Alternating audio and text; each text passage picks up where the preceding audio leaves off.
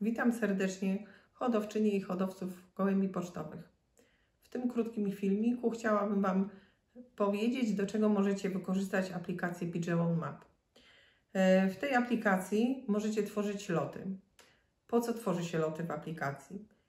Po to, ażeby mieć możliwość wizualizacji przebiegu lotu na tle mapy pogodowej. Mapa pogodowa jest stworzona z trzech warstw. Jest warstwa kierunku i siły wiatru, warstwa opadu i warstwa temperatury. I teraz macie możliwość dzięki temu prognozowania pogody na przebiegu tego, tego, te, tego lotu, czyli parę dni wcześniej, czy bądź tydzień wcześniej macie możliwość obserwowania pogody i prognozowania jaka będzie. Dzięki temu możecie się przygotować. W trakcie całego lotu macie możliwość na bieżąco śledzenia przebiegu pogody, która jest na trasie tego przelotu, a po zakończonym locie możecie wygenerować raport z lotu i w tym raporcie z tego lotu macie y, dużo danych. Oprócz danych lokalizacyjnych wypuszczenia i dane gołębnika przylotu, daty y, godziny wypuszczenia i godziny zakończenia lotu, macie też wszystkie dane atmosferyczne, jakie odbyły się na trasie tego lotu, czyli jakie wszystkie warunki macie opisane, jakie były na poszczególnych etapach całego lotu.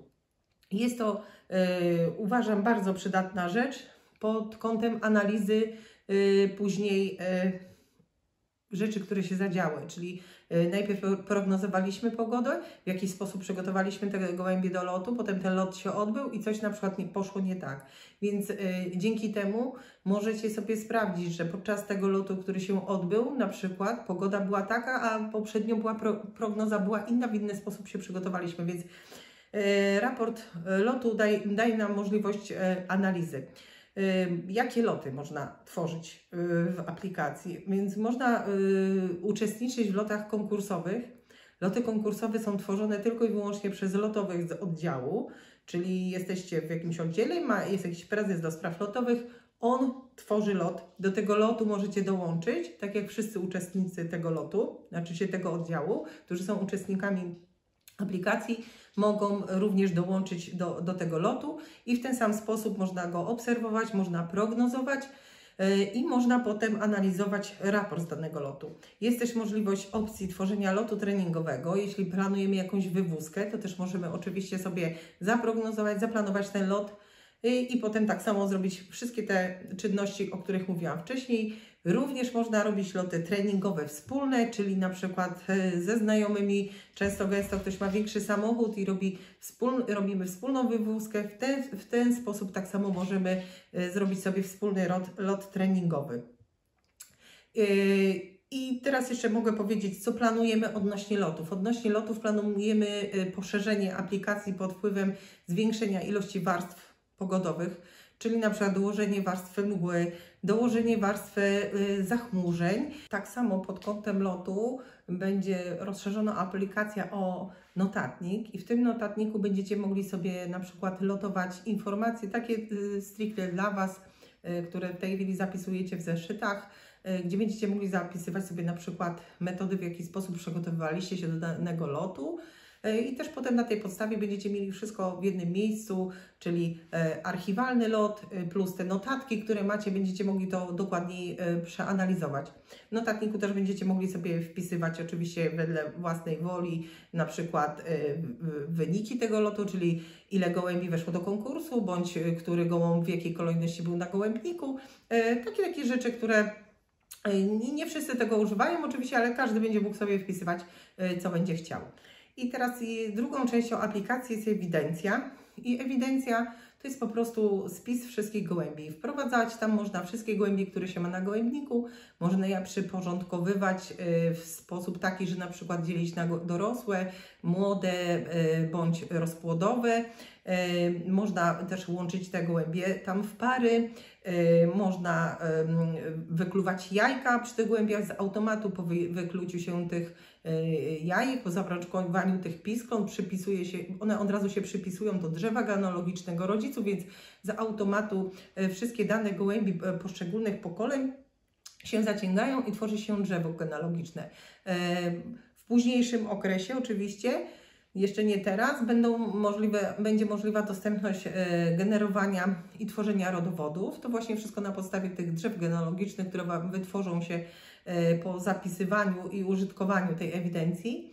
Jest też tam taka możliwość e, robienia spisów gołębi starych i spisów gołębi młodych, więc e, tak pokrótce chciałam Wam opowiedzieć o możliwościach jakie na tą chwilę ma ta aplikacja. Ona cały czas ewoluuje. Kto jest z nami od początku, to już widzi zmiany, widzi poprawy, więc zachęcam Was serdecznie. Spróbujcie, zobaczcie, czy jest to narzędzie, które może się Wam przydać. Myślę, że warto jest spojrzeć chociażby przetestować z tego względu, że ona jest zupełnie darmowa. Do tego, żebyście spróbowali. Zapraszam też do kontaktu, żebyście dawali nam znać, jeśli jesteście zainteresowani i chcielibyście korzystać z tej aplikacji, to dawajcie nam jakieś wiadomości na temat tego, co nie działa, bądź co można by było poprawić, albo co chcielibyście mieć jeszcze w takim, w, ta, w takim urządzeniu, w takim, w takim narzędziu, e, bo podkreślam, e, warto jest chociażby z, tak, z takiego samego względu skorzystać z tej aplikacji, ponieważ ta aplikacja jest dostępna na telefon, tak samo i na komputer. Wiadomo, że te wszystkie e, gołąbki, które wpisujemy do ewidencji, łatwiej jest pisać na komputerze, bo jest, mamy klawiaturę, normalną, duży ekran i tak dalej. Ale weźcie pod uwagę to, że często gęsto spotykamy się gdzieś z hodowcami i tak dalej i zaczyna się temat gołębi. I się mówi, a mój numer 300, coś tam, coś tam, coś tam, coś tam.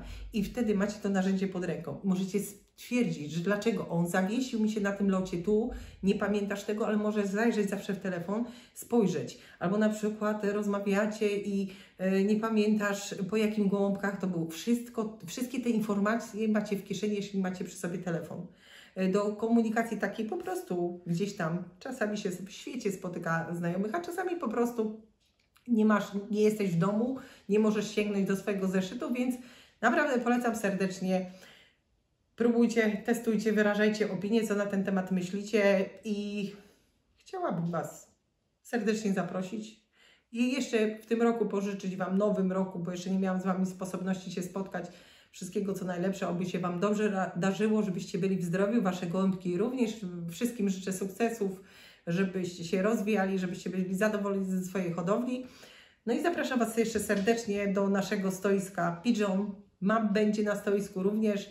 Nasz sklep też będzie digging, więc zapraszam serdecznie na ogólnopolską wystawę gołębi pocztowych w Katowicach, która się teraz odbędzie. 2025 rok, przypominam, 10, 11, 12 styczeń. Jesteśmy na stoisku numer 10. Zapraszam serdecznie, tam możecie zapytać, dopytać, potrenować. Będzie do dyspozycji telefon, będzie do dyspozycji e, laptop i będą do, do dyspozycji osoby, z którym możecie zadać konkretne pytania. Pozdrawiam serdecznie, życzę Dobrego raku, dobre loty.